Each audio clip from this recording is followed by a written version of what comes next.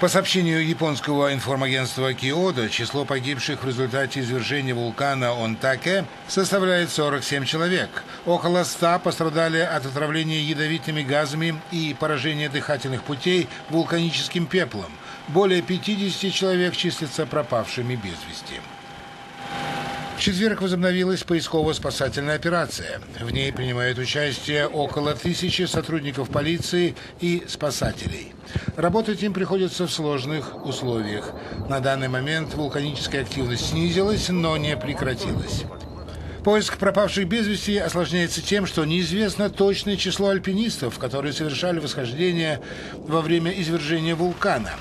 По предварительным данным, их было порядка 250 человек. За всю послевоенную историю Японии извержение Онтаке унесло самое большое количество человеческих жизней.